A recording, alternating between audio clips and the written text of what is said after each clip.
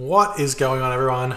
My name's Boit, and I'm back with some more Age Mythology, the Titans action, spawning in the bottom of the map in the red color, playing as Isis. His name is Kimo.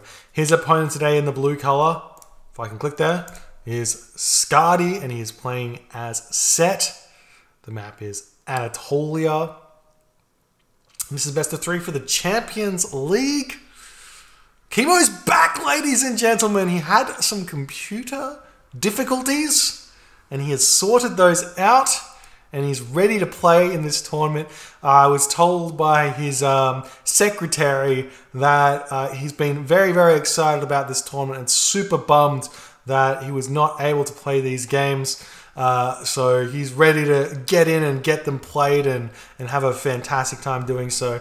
Uh, I don't know how, what happened, but he had uh, some his computer broke or something, and he had to get some parts in. And because of the COVID restrictions and stuff, he could not get them in easily. Uh, but he's managed to do so now, and he is ready to play and get back to that old level that he was at, where he won the Bill Greg Open. He is definitely a favorite to win this tournament here. So we'll see how he goes. Uh, and we do have to respect the fact that he is possibly rusty here. He is one of the few players that are de-rusts in less than a week uh, because of the sheer amount of games that this man can play, uh, and just the this he has like such a crazy uh, crazy attitude towards the game, and he just can just play games on end with no breaks, and he, his willpower is pretty insane. Uh, so We'll see what he can do here. He has taken the ISIS here on Anatolia, so an interesting decision. ISIS definitely the well, it's always the classic. It's it's the classic god that is considered um, strong on Anatolia. It's like the god that people say, you know what, Isis is probably the best on Anatolia, but I feel like she hasn't really had that much test been tested that much in the modern era. And I say this because uh, gods like Zeus or Greek have had had um, really hyper modern um, Anatolia builds made so that they can pump out all the fishing ship, get up very fast, and, and do things like semi-fast mythics, which which counter Isis very very hard, uh, and and and um, then we also have like uh, the, uh, the the Atlanteans have come up with some ideas on Anatolia to work around their problems. Uh, and the Norses as well are very, very, very, very strong on Anatolia just because it's a water map, and the Norse tend to be pretty good when they're hyper accelerated from the uh, from the fish. So we'll see what uh, what happens here and what happens. But Skady's going for the Set here. Set is the other god that is considered quite strong on this map simply because he gets out animals which can deny docks. But Kimo's already got the docks up on both sides. Uh, so he's going to be able to get fishing ships out and he can build up those, do those docks with fishing ships if he needs to. Uh, alternatively, he can trap his villager into the dock on the side. You build the dock and then you build two walls and you should be totally fine. The board does come over here and we'll spot this villager leaving the shore. And you will see the dock is up with a house to boot. And the priest has returned to the home base for Kimo as well. I like that. You don't want to lose the priest, so just keep him alive and then you can use him a little bit later to defend in the classical age.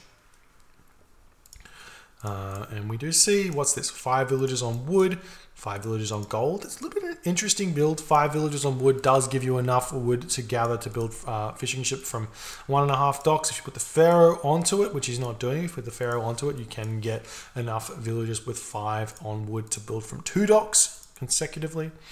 Uh, but he is opting to do something different. Villagers pumping out. He's going to build up a lot of docks here, it looks like. And this villager chilling here for the time being. Not throwing up that just yet, the doctor said. He is building up a temple, so he wants to advance quite fast, it looks like, with two villagers building this temple up. But I'm not sure he's going to have the... Oops.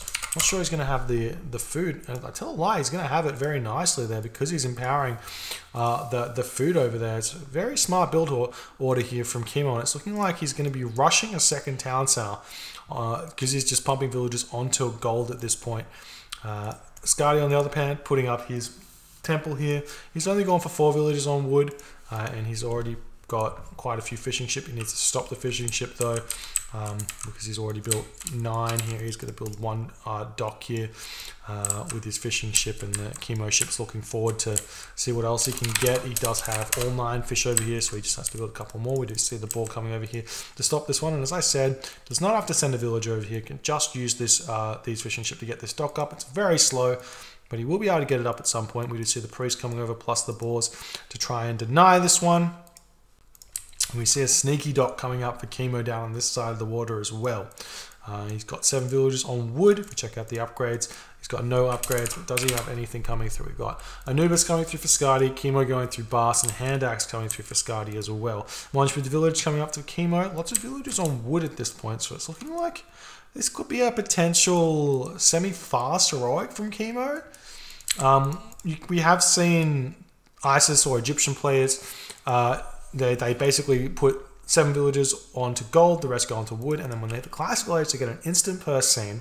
They spam villagers onto gold, build an armory straight away. You can get out like 10 to 15 kebenits and hit a classical or heroic age at, at 9 minutes, and then start spamming out seed ships to just crush the water and get out heavy uh, heavy kebenits to, to really iron in your advantage there. Um, but we'll see what he's going to be doing here. Check out the technologies. We see pickaxes coming in. We do see an immediate kebenit coming out. So no, uh, no fast Purse Seine here, as he is struggling to get this or keep this dock up. But the docks do get defended there by the kebenit as these fishing ship going to be putting up this dock over here. Would have liked to see it get put up over here though.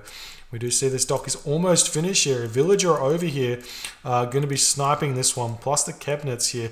Uh, they do have a bonus damage against this. This is going to be relatively close here, but most of these fishing ship will probably be falling. If I was Kimo, I'd just cut my losses and say, all right, going to retreat away. Oh, it gets the... I tell a lie, the dock was very close. I didn't realize how much damage had been done to it. And now he's kind of got control on this location. Very sneaky there. There's the armory. Still no Purse Seine for either player. I'm a little bit a little bit surprised by that one. We do see a plague of serpents coming down over here, which will be able to tank some of that dog fire. And um, Kimo happy to just sit back here and let the uh, let the docks deal with this. I wouldn't pop out of these uh, these docks at all until this is dealt with. Uh, and Sky is just going to use this to get some advantage with the food income. We see the uh, Anubite coming in to deal with uh, deal some damage. Sphinx and Priest still chilling in the base for Kimo. Armory is on its way. Village are going to get trapped here. Could probably garrison micro this one out, but sometimes it can be a little bit finicky. There is a little slot there for him, so no problems there.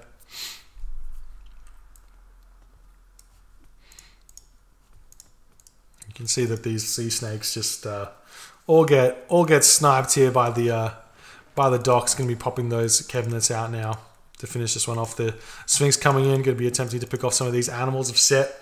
We'll be able to do so very, very fast. And then go after the uh, go after the Anubite here. And Scotty does see this one going to be retreating away. We see some raids coming up onto these fishing ship here. Three kebenits to four kebenits though. So Kimo does win this fight. He chills in the corner over here, away from the dock. See what uh, Skady does. Skady does have a priest over here to attack back onto this Sphinx. The Anubite and the priest are going to be able to finish this one off. And then he'll back up that Anubite. So nice play there by Skady to, to pick that one off. Still no uh, Still no heroic age here. Kimo struggling a little bit for food because he was pushed off over here, and three of those fishing ship were uh, are stuck up on this dock here when they should be over here fishing up over on the Mahi Mahi. But given that he has uh, done this over here, he does uh, prevent Skady from having those three fish. So pretty smart in general. And the kebenit's coming over here at this point, going to be picking off these kebenits here. And actually going to probably keep this stock alive here if we can pick off all these units. It's going to be really close. It's looking like Skady is just going for it. The fishing ship going to pop out and immediately just rebuild the dock. It's a nice play here from Kimo to keep that one going now. We see the kebenits coming on the bottom side of the, the uh, the water here trying to pick off some fishing ship. Nice micro from Kimo. We do see Nephthys is on the way for both players, 20% and 50%. So both players with a very similar build here. Very similar strategy, however. Kimo's got access to Ancestors Eclipse, whereas Skady's got only access to Ancestors. So Kimo definitely very far ahead at this point in the game. Uh, and we'll see what he can do here. He's, he's going to have access to an extra three fish as well. See if he builds the three fish over here at some point or not.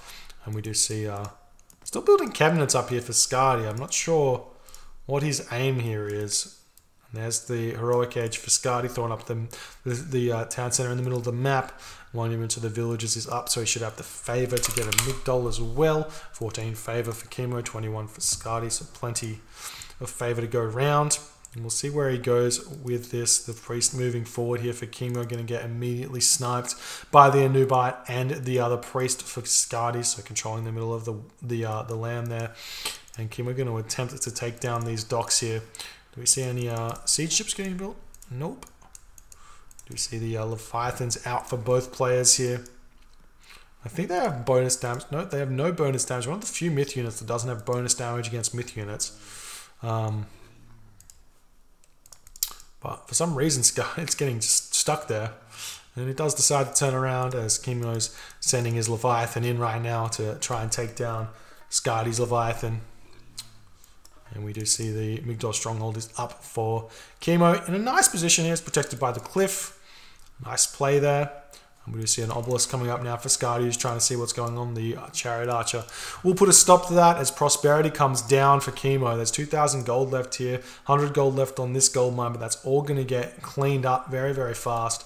Scorpion Man getting chased around by the Anubite here. Scorpion Man does win this fight pretty handily here, and Skady not paying attention will be losing it, unfortunately. As the siege works coming up now for Skady as well, who's going to be attempting to get those going. Uh, the town centers are fairly close to each other, both kind of in one screen length, so this could be a mercenary fight in the middle. Gold mine situation here for both players. It's pretty good for... Actually, it's not too bad for both players. There's one gold mine here for Kimo. This gold mine and this gold mine kind of off limits for both of them. These two gold mines here are possible to grab a little bit later with a Stray Migdol coming up while they're fighting over over this area of the map. Should be no problem for both of them. So we, we could have a fairly decent uh, decent fight here for gold mines and for map control. But Kimo definitely a little bit in front right now. We do see Skady moving forward here, going to be trying to snipe some of these. Uh, actually, not even going for the priest there, was attacking the Scorpion Man. Not sure what was going on there. Loses two chariot archers effectively for free there. And then um, Kimo can just retreat and heal these uh, units back up if he wants to, or keep applying pressure and doing uh, all of that stuff. Moving in, we do see this villager a little bit out of position as Kimo is going to be able to snipe that one down, but for some reason the chariots targeting down the town center, and then he picks off the villager, going to be retreating back. Do see a, uh, a Scorpion Man here for Skady. There is a priest, has Hands of the Pharaoh, so get a little bit of damage done, or a little bit of range, I should say. We do see Salt Amphora is out for Kimo, whereas Skady's got only Purse Seine, and a lot of his fishing ship have been picked off at this point. So it's a lot of catching up for uh, for Skady to do here. see Skady moving over with these chariot archers. He does have, um, they both do the same damage, but they get built a slightly faster here, I think. Um, I think the, the chariot archers have like a 20%, 20% train time, so that's a thing negative 20% train time, not positive 20%. Uh, and we just see the walls coming up nice and early for Kimo. I love it when he when I see players doing that. Market's already thrown up for Kimo. He's going to be thinking about going through. I assume you want to go through Osiris here. Going through Thoth does not seem like the right play, but maybe getting those uh, those elephant out might be a good idea. But you are against probably against Horus here Viscardi.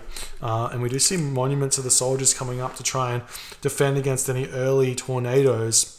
So he's going to have to throw these monuments up kind of everywhere. Uh, and I think he should be relatively well protected, whereas Skady's not going to be protected by a meteor, which is going to do a lot of damage. We see the priest coming in right now, looking to build, cast that ancestors and force out, force out a defensive ancestors eclipse that might run into these seven priests but they don't have funeral rites and they don't have Hands of the Pharaoh. So a little bit low on the range at only 19 range compared to the 21 range of Kimo's priests here. We do see that Skady is opting to retreat now. And nothing was cast there. And we do see the monument to the soldiers, which wasn't finished. It's going to be finished up now. And the walls are almost all up for uh, Kimo, or not really. He's trying to quarter off the map as best as he possibly can here. And he does have, well, the question is, can he start the trade route and will he need to get another gold mine? That's the question, if it matters or not. Where's the ancestors coming for Skady? Kimo casts his own ancestors eclipse, but priests here plus the pharaoh will be able to pick off these ancestors as soon as they spawn. This is going to be a really devastating attack onto. He's having to spam out mercenary cavalry here to pick off these siege towers. Siege towers coming over, villagers moving in here, going to attempt to heal this up or repair this one up with the uh, help with the pharaoh here. The villagers are on top of it. Two siege towers are already here, and this is going to go down. It looks like it's very, very close. Villagers do not get onto the town center fast enough. The ancestors are doing so much damage here because there's no priest. The priest and pharaoh are able to pick off every single one of those ancestors eclipse there. So the ancestors eclipse basically did nothing, uh, and now the priests are able to help out in the back. We do see the pharaoh uh, empowering the town center to try and get it back up. The siege tower turns around, will slow this one down, but the villagers turn onto it at this point. The ancestors is going to keep it from going back up. Mercenary going to be spamming into this location, but he does not have enough resources to be doing this just yet. This mining camp placement is very poor. These villages are going to be very inefficient. Uh, wouldn't have been a bad idea to send villagers over onto this gold line here. Uh, and we see Kimo desperately trying to get this town center up as Scotty with this timing attack is doing an absolute crazy amount of damage to Kimo. And Copper Weapons fortified town centers coming through for Kimo right now, but Skady with the uh, with the attack here looks like he's going to be able to push in even onto this Migdol stronghold here. Uh, I'd love to see him just move forward, stop these Mercer and start building some towers up here as well, just to prevent this town center from ever going over to Skady. Um, we've seen a random boar here checking out these gold mines as well, which I do like as well. But Kimo is going to have that trade route going at this point, uh, which will slow down a Mythic Age. So uh, there's not even going to be like an option to get out that Son of Osiris to push back. I do see Kimo starting to build some war elephant here. There's the mercenary cavalry moving in. So this army doing some damage, tanking quite a bit. Cavalry coming over to try and snipe down that war elephant there. Look at how long this cavalry cavalry lasts. Doing uh, getting a lot of damage done. Does eventually die there. But that's uh, that's how it works there for the Egyptians. Still spamming out the mercenary cavalry as Scotty sees some uh, some light here. Came in with a lot of resources in the bank, a lot of wood in the bank, not a lot of gold or food, but a lot of wood in the bank. Throwing down another siege works. Going to continue to try and uh, try and get this location back because it's very important. But the question is, is he going to be able to? We just see some villagers moving forward now onto these gold mines over here. You could put villagers on every one of these gold mines, which he's going to be doing, sending mining camps every which way.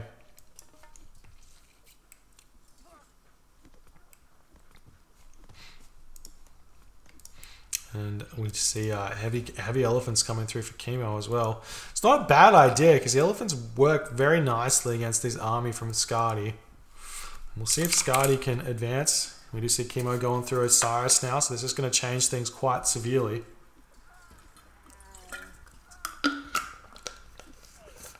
But the Pharaoh does get sniped straight away. You've got to be careful about that one, Kimo. When you're advancing through Osiris, you definitely have to keep it alive, and it's coming down to 43 HP. But a mummy does come out, which is going to help out quite a bit. We see a priest getting built. Yep, one priest getting built. Hands of the Pharaoh uh, on its way as well.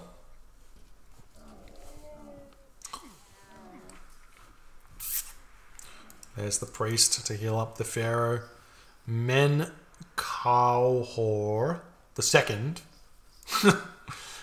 Men Kauhor. Nope, that's not. Uh, I, I don't even know. Wall's coming up now for Kimo, and Skady's actually completely devastated here for some reason. The mummy too good. Is Kimo able to just defend? And it looks like Kimo is waiting for the City of the Dead to research before he casts another Osiris. I'm not sure if it's like a... Actually, he didn't wait on it. We'll see if it works. It does work. There was a bug that happened, I think, on Nilla, in that if you didn't get City of the Dead before you cast Son of Osiris, the uh, extra HP bonus didn't didn't work. Uh, now the Son of Osiris is going to be making a move in here. Ready to push uh, push back onto Skady. The uh, Son of Osiris can actually pick off these siege towers nicely. Uh, like I've said a million times, one of the few units that does hack damage, range hack damage. We can pick off the uh, pick off those siege weapons really, really well. And villagers now going to be building up this town center, and that's going to give Skady, oh, it's going to give Kimo, excuse me, a very strong advantage here. But Kimo has run out of gold at this point, but he he can easily get another gold mine here if he wants to. The Son of Osiris gets immediately targeted down here. Nice play from Skady. Kimo not paying attention. He's already lost a quarter of his HP, almost half of his HP. Does lose half his HP, garrisoning that uh, that Son of Osiris into the siege tower here before the siege tower does get sniped. Son of Osiris pops back out and he's going to get take even more damage. Can he get a surround onto the Son of Osiris? It's going to be very, very close. He does get the surround. The archers going to be on top of the Son of Osiris. Now that's absolutely huge here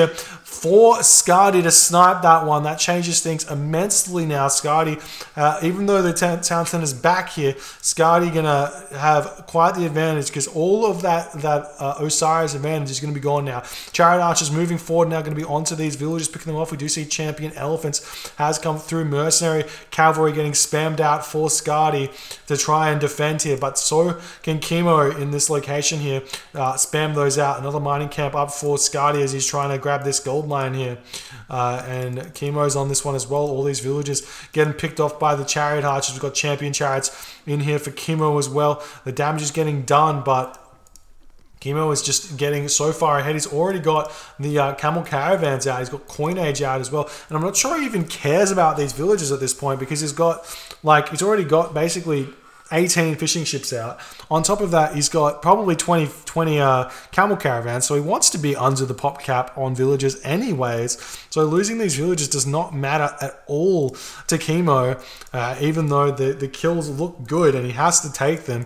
It's not going to matter to Kimo one bit. He's just going to be replacing that population with camel caravans, going to be spamming out the trade and going for the late game here. Catapult getting going to get picked off here by those uh, chariot archers anyways. And Kimo spamming everything out. He's got 400 gold in the bank, sitting at 165 of 169 population. Scotty sitting at 160 of 160 population. Uh, if we check out the, uh, the technology, you've got quarry coming in for Scotty, boiling oil signal flares, and flood control coming in for for Kimo, whose economy is just powering ahead right now as he's taking everything out here. The mercenary cavalry getting picked off. Chariot archers doing their thing here in the back. A spearman out as well for. A Migdol Stronghold coming through, just trying to secure these gold mines. Skady's trade routes not the best here. He should be putting the market a bit closer and just dealing with it, but not going to be doing so. Same with the Kimo actually. He's got a little bit of uh, extra room that he could do, and the Pharaoh's actually empowering the wrong market maybe the wrong market. Some of these camels are dumping in the wrong market here. As the fight continues in the middle here, and Skady's trying to restrict Kimo's map a little bit up the top corner, and Kimo's actually moving in over here with nice walls here, quartering off, uh, cornering off Skady, and a nice siege tower raid here onto these houses. Nice decision there. Picks off the picks off the docks, which makes these fishing ships redundant as well. We do see a ramming galley trying to take down a dock over here. Those units are, look like they've been forgotten about for Scott. He needs to needs to get them going here. Now the war elephants or the champion elephants are moving in here, going to try and take down the Migdol stronghold. That one elephant's not going to be enough, and the mercenary cavalry just getting spammed out by both players at this point. And the villagers come around, pick off the uh, the siege tower before coming back over onto this wood where the lumber camp already is. Fair enough. Sometimes it's easier to left click than it is to right click, so it's a thing. Cavalry getting sniped.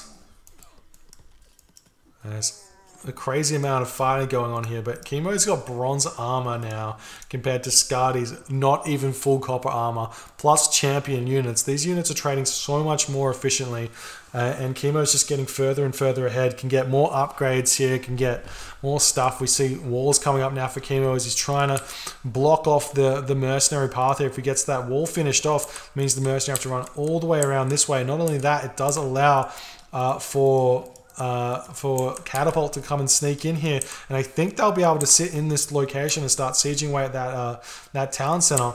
Would have loved to see a little bit more uh, villagers here to get this wall set up because now the siege towers can just come in and uh, and pick these walls off. We see the Catapult coming out now. Needs to send some mercenary cavalry over here to pick this one off. I like the play from uh, from Kimo here, but he needs to needs to get solidify this a little bit more. You see the Catapult starting to siege away at this one now, and the uh, the mercenary cavalry going around the long way like I said they would. And the catapult will get picked off, trying to build up this wall again. Uh, but it's not going to be happening as Skady too quick to act there. Still sitting in the in the heroic age. Kimo getting iron shields now, getting super far ahead on the technology. The question is, can he use it for anything?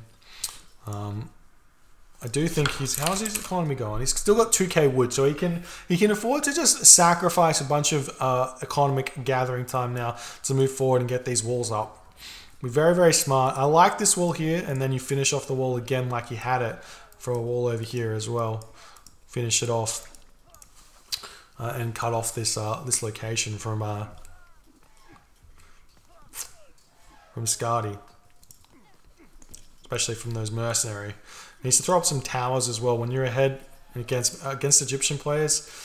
Build towers one one screen length away from the uh, from the town center, like here first, and then start moving forward so that the uh, the towers can defend against the mercenary. They don't instantly get picked off. Catapult moving forward. They're a little bit too far forward, but we'll see if they can. They can just retreat as well away from the uh, the mercenary cavalry when they do click on them. So not a bad idea there. We're seeing that they're currently doing all the damage here.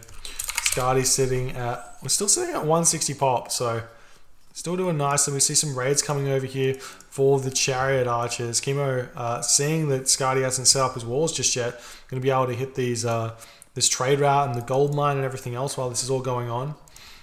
We just see the catapults getting picked off right now. Watchtower's trying to get up for Kimo. Town center is very close to going down. One more shot here, maybe enough. And it does kill the town center, but there's no catapult left. And Skady does decide in that moment to tap out. GG, well played by Kimo. I love this play. He almost lost it when the town center went down, but his economy was just so huge. Able to get to the Mythic Age and push Skady back with those elephant getting out. The War Elephant, the uh, the Heavy Elephant was key, and building a couple of those was uh, was very very smart. Uh, had no answer to the to the elephant at that point. Uh, just because he had only heavy chariots and then he wasn't able to keep booming away. How's his economy looking? Yeah, he's only got bow saw, he doesn't have irrigation, so his farms are really slow. Uh, and he's just struggling for the economy. A lot of people say set economy is weak, but I mean, yes, Egyptian economy is slightly better. It's got 10% more wood and, and food gather rate, uh, but it's not really that much of a difference and you shouldn't be that far behind on the economy. If we check out the post game here, Skady with 1325 to 1789, and we do see the civ count is very similar. So this is this is all about uh, economic upgrades here. And we can probably see that things were fairly even here until they started coming up. If we check this out, 14 minute mark is where things started going a bit a bit sideways for the economy here. And if we check out uh, technologies, as if there's no like technology tab. We can see it here though, 40 to 16, but I would have liked to see the uh, when they came through those uh, those technologies. Such is life. Anyways, if you enjoyed this game, please give us a follow on the Twitch if you want to see the games or see me when as soon as I go live. And uh, if you're on the YouTube, hit the subscribe button, and I will see you in the next game.